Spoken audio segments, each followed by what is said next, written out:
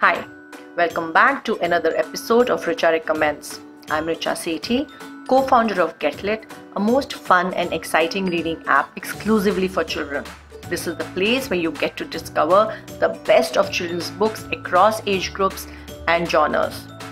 The topic of today's book recommendation is something which we all inadvertently commit without realizing the impact of our words on our kids.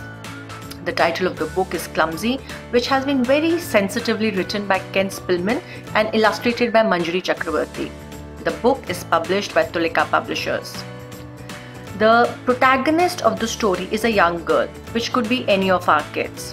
Words like clumsy, careless, messy, butterfingers, slow coach are casually thrown at her during the day when she drops things or messes up her dress or is very slowly tying up her shoelaces. Very soon, this little girl withdraws into her own world.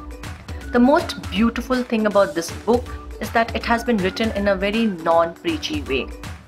The words are carefully crafted and it allows the reader to experience the varied kind of emotions that the little girl is going through. The words and the emotions are brought alive by the illustrations done by Manjari. Let me take you through the book.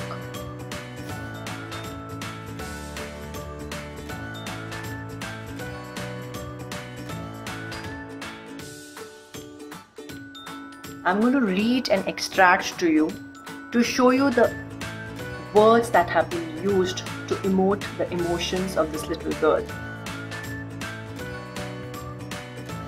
Slow coach, grumbled her father as she fumbled with her shoes. Careless, moaned grandfather as she knocked down his walking stick. She made things wobble, tumble, and shatter. People complained, scolded, and teased. Sloppy, snapped the teacher, looking at her homework. Messy, chorused her friends when she dropped gravy on her uniform. Butterfingers, barked the sports instructor as the ball slipped from her hands. I believe this is a must read for every adult. In fact, children are going to relate to all the emotions that the little girl is going through. It's a book which makes you pause and think. There are certain books which allows you to have the vocabulary when you fumble for words to express certain emotions. Clumsy is one such book. I urge all of you to pick up this book and read with your kids. You can have this book on GetLitt platform or you can buy this book on Tulika Publishers website. Till we, ne- till we meet next time, happy reading. Bye.